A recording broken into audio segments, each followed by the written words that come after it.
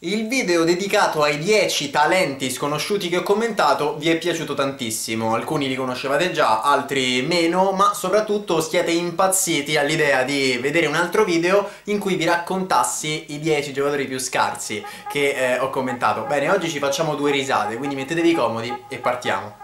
Salve a tutti ragazzi e bentornati qui sul mio canale, sempre in quarantena, quindi ci facciamo compagnia a vicenda con un altro video dedicato a Sport Italia. Sapete, ve l'ho detto anche la scorsa volta, ci sono tantissimi video sul canale in cui ne parlo. Ho lavorato a Sport Italia per alcuni mesi, ho fatto tantissime telecronache divertenti in cui ho scoperto bei talenti, però, perché il bat c'è sempre, e ho avuto anche modo di raccontare giocatori un po' meno entusiasmanti. Logico, perché comunque i campionati che ho commentato non erano di primissima fascia e quindi era strano trovare eh, il fenomeno più che il giocatore scarso. E per questo motivo realizzare, costruire, preparare questo video è stato molto difficile. Sono andato un po' a ricordare eh, alcune partite all'interno delle quali mi fosse rimasto eh, impresso un giocatore che non aveva fatto per nulla bene, oppure viceversa, un giocatore che si vede che fa la partita della vita ma non è nulla di che. E quindi in questo video vi presento i 10 giocatori, chiamiamoli così, più scarsi che ho commentato.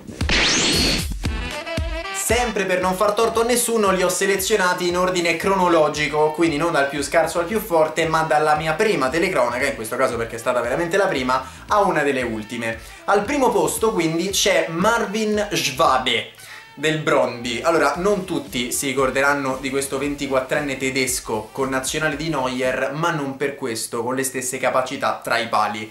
Ebbene, questo signore, o meglio ragazzo, perché è giovanissimo, anche se è un gigante eh, tra i pali, eh, si è reso protagonista il 29 settembre del 2019, quindi proprio il giorno della mia prima telecronaca in quel Sonderisca e Brondi, con una paperaccia clamorosa in occasione del gol del 2-0 momentaneo a favore dei padroni di casa, gara poi finita 2-1 con la punizione di Kaiser di cui abbiamo parlato nello scorso video, ma oggi parliamo di un suo compagno di squadra, ormai ex, perché Kaiser è tornato in Germania, eh, però appunto questa papera mi è rimasta impressa che poi va al centro, Schwabe la lascia lì, attenzione alla carambola e arriva il 2-0 papera incredibile di Schwabe che si dimentica il pallone. Poi tra l'altro non è neanche una gran stagione quella di Schwabe onestamente. In 24 presenze ha preso 34 gol eh, quindi naturalmente il campionato è fermo adesso anche in Danimarca e meno male per lui mi verrebbe in mente da dire allora, per questo video ho selezionato anche dei calciatori eh, dai quali magari sono rimasto deluso. Eh, quando ho preparato la telecronaca mh, mm, pensavo dovessero essere dei fenomeni e invece così non è stato, quindi è tutto soggettivo, chiaramente. Però al secondo posto ho messo Mart Lider e qui il buon Orazio Comando mi ucciderà.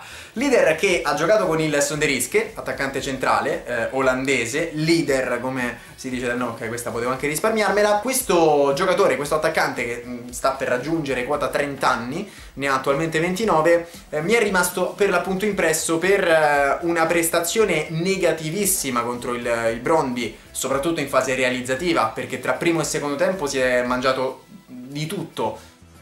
Viene incontro Rocas, triangolazione poi cross verso leader sul palo. Ricordo questo palo ad esempio che è gol mangiato più che sfortuna onestamente perché era da solo all'interno dell'area di rigore ma soprattutto, eh, cosa che poi non si vede nella sintesi, nella ripresa tantissime occasioni. Contro il Brondby, contro il Copenaghen quando ho ricommentato poi eh, il Sonderische. Quindi leader malino, almeno quando l'ho raccontato io. Vi ho parlato di un portiere, vi ho parlato di un attaccante e adesso per il terzo posto torniamo in porta. E ci torniamo con un uh, nome che magari alcuni di voi avranno già sentito perché in Champions League questa avversaria è stata affrontata dal Napoli. E questo portiere in particolare fece il mostro quando si giocò alla Luminus Arena. Vi parlo di Gaetan Kuke, portiere titolare, ma non troppo ultimamente, del eh, Genk proprio per le sue prestazioni eh, non proprio positive Eppure in quella serata contro il Napoli tenne lo 0-0 in un modo, eh, come piace dire a me, con enfasi non indifferente. Prese di tutto, eh, fu clamoroso. Eh, Callecon prima, Milik, Insigne, insomma ricordo un Napoli arrembante ma che pareggiò eh, in modo anche deludente, no, se volete, per 0-0 in Belgio. Q che poi in stagione, al di là di quella prestazione, eh, si è messo in evidenza sì, ma per uscite sbagliate, tipo quella su Suzuki. Alza la testa e va alla traversone verso Suzuki che anticipa Kuke e mette in porta il gol del sorpasso. E poi una serie di gol subiti, 28 in 18 presenze per la precisione, tant'è vero che eh, ha perso il posto. Tra i pali per il Genk è andato addirittura Van de Voort che è un giovanissimo di 18 anni, appena maggiorenne. Poi si è infortunato e quindi Kuke si è ripreso il posto, ma eh, insomma malino anche lui.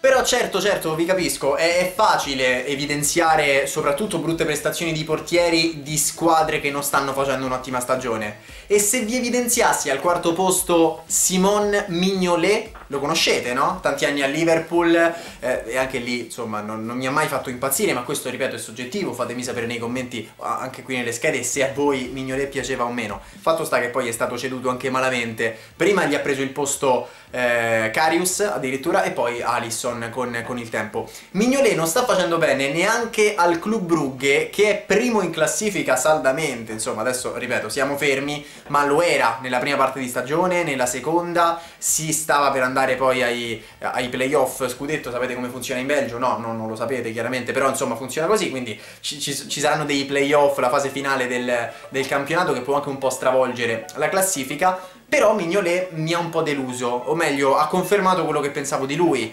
Malino nelle uscite, poca sicurezza tra i pali e poi un piazzamento, per carità io non faccio il portiere, ma che non mi ha mai convinto. Dalla parte opposta il suggerimento per eh, Kage, al centro c'è soltanto Boio, arriva la palla sul secondo palo, proprio per Ramboio che accorcia le distanze.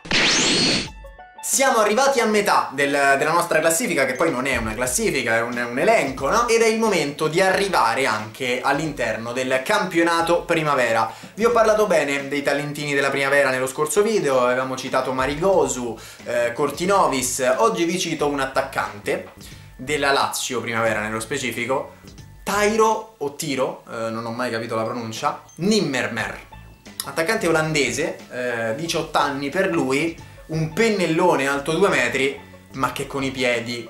Francamente, almeno quando l'ho commentato io, e ripeto, lui è uno di quei giocatori dai quali mi aspettassi un pochino di più, nulla, eh, il nulla proprio, nulla cosmico, ha sbagliato anche dei gol eh, decisivi poi all'interno di quelle partite, ne, ne, ricordo uno contro il Chievo in casa, ebbe due o tre palle gol nel primo tempo, poi il Chievo vinse la partita a Formello, quindi in casa della Lazio, stessa cosa contro il Sassuolo, eh, anche se lì si diede un po' da fare eh, sotto il profilo degli assist, giocò molto per la squadra, poi viene sostituito, però nel complesso mi è sembrato il classico, non voglio utilizzare termine bidone, anche perché è giovanissimo e quindi avrà tutto il tempo per smentirmi, in positivo lui, così come potrebbero smentirmi in negativo Marigosu e Cortinovis, quindi eh, ripeto, si parla di giocatori giovanissimi, meglio non fare troppe, eh, non dare troppe etichette, ecco. Ma a me, francamente, non è piaciuto, quindi ripeto, è soggettivo, fatemi sapere se lo conoscete, se ti fate Lazio, se pensate che possa diventare il nuovo Van Basten. Posizione numero 6 per il primo difensore centrale di questo video. Ci spostiamo in Scozia, in casa dell'Aberdeen, e vi presento Scott McKenna. Quello che vi posso dire, avendolo raccontato in due occasioni, contro il Celtic in casa, contro il St. Johnston in trasferta, vi posso consigliare questo calciatore per una rissa. Ecco, per uh, pugilato. Probabilmente potrebbe diventare il nuovo John Cena non credo che sfonderà nel mondo del calcio. Un altro difensore centrale che francamente mi ha lasciato un po' l'amaro in bocca, poi eh, non, non, ho particolari aneddoti su di lui, credo semplicemente che sia un po' scarso, anche vista la carriera che ha fatto e serviva il numero per arrivare ai 10, perché se no non ci arrivavamo. Giancarlo Gallifuoco, Giancarlo Gallifuoco anche dal nome eh, potrete evincere che ha origini italiane, non è italiano perché in realtà lui nasce a Sydney in Australia e gioca in Australia con la maglia del Melbourne Victory. Ha segnato anche eh, un, una rete in A-League quest'anno, però onestamente ragazzi, robetta.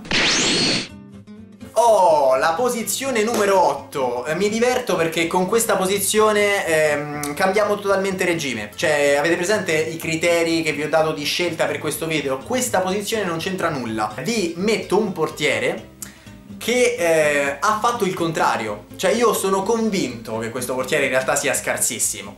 Però durante la gara tra Anderlecht e Charleroi il buon vecchio, nel senso buono della parola, ma non troppo distante dalla realtà perché a 39 anni, Nicolas Penteo ha salvato l'impossibile, ha parato di tutto, tant'è vero che io in telecronaca sono impazzito e nel secondo tempo gli ho anche dato del Super Saiyan. Per la penultima posizione di oggi eh, vi torno a parlare di quei calciatori che in realtà mi hanno deluso, per come li avevo preparati, per come me ne avevano parlato nello specifico. Eh, e qui vi parlo di un trequartista, Rezan Korlu, che dal nome sembra rumeno ma in realtà è danese. Eh, lui che gioca eh, in Danimarca appunto con la maglia dell'Ingby.